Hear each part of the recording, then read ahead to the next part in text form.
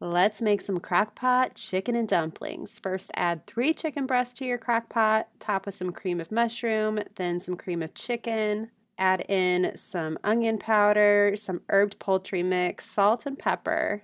Then, four cups of chicken broth. Mix it up and then cook that on low for four and a half hours. After that, shred up your chicken add it back in, and then you're going to take two cups of your favorite biscuit mix and make it according to instructions. Give it a good mix and then roll it up into little balls and plop it right into your crock pot. Now you're going to cook that on high for 30 minutes and then enjoy.